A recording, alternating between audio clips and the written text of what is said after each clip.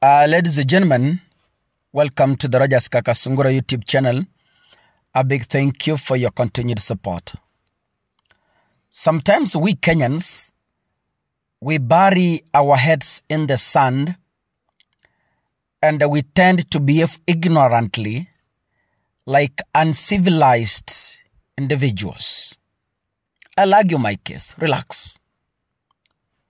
The problem that we are having in Kenya is behaving as if we have never read about politics. We behave as if we have never understood how politicians work. Every single political season, we forget, I don't know ni uchawi gani wanasiasa wa Kenya wako nao. Kenyans, we forget too fast. Like in 2027, people will forget what Ruto did in five years. People will forget on how Ruto discriminated the judiciary. People will forget on how Ruto administration abducted young people. And they will vote him in. Sometimes we behave like uh, I don't know which animal is that. Yani, anyway, why am I saying this, Kakasungura? There are two facts about politicians, or one fact, in fact. There's one fact about politicians. Politicians will always get divided on which that is meant to rescue the voters. They get divided. It, it, it's a culture in politicians. It's, it, it's something that is rooted in politicians. If there is a bill in parliament that seeks to empower the ordinary citizen, a number of them they get divided and that bill will never see the day wanapigana mpaka kupigana. I think you've ever seen that before. Any bill that is meant to make the ordinary citizen wiser or any bill that seeks to defend a voter members of parliament others cannot even attend sessions in parliament. An example is the Finance Bill 2024. Some of them disappeared because they never wanted to vote yes nor no. They just vanished. Now, the judiciary or the courts ruled that the CDF is unconstitutional. The Constituency Development Fund we all know that members of parliament are surviving under the masses of CDF. This is where they loot from. This is where they eat from. If members of parliament are denied the CDF, nja itawamaliza. This is what is meant to help them as it may help the citizens. So, one fact is members of parliament will always get divided on which that is meant to help the electorate, but get united on that which is meant to help them as politicians. That's a fact you can never erase. When the courts declared CDF unconstitutional, members of parliament, all of them in the Republic of Kenya are speaking one language. What? During the finance bill, they were speaking in different languages.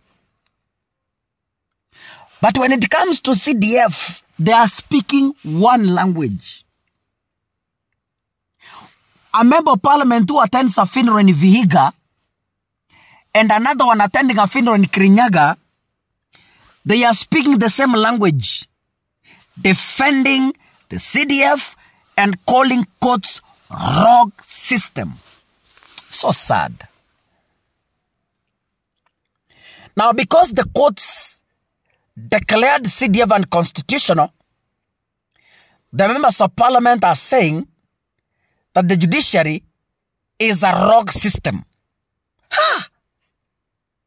So, I want to ask Millie Odhiambo, what is the difference between you and William Ruto who doesn't respect the court orders? You members of parliament, whether from the Kenya Kwanza ruling, ruling coalition and from Azimio, you have stood jointly, especially Millie Odhiambo, to accuse the courts and brand them a rock system. I have to ask you, madam, what is the difference between you and William Ruto? Ruto never respects the courts. So members of parliament who have been criticizing William Ruto of not respecting the courts have also joined the, the, the, the, the band. The courts have pronounced themselves on the CDF. Members of parliament have refused to honor that decision. And instead, they are now demolishing and hitting the judiciary right, left, and center. This is the system we are having in the Republic of Kenya. The, the people celebrate when things are right on their side. Politicians. When all is well on their side, they say it's God. I think you remember Ruto. Wakati Ruto kila kitu kinamwendea vizuri, anasema ni maombi, lakini vitu zikianza kwenda mrama, anasema ni uchawi, wanga, sijui ni nini, mambo mengi. Watu wajinga ni sisi wa Kenya.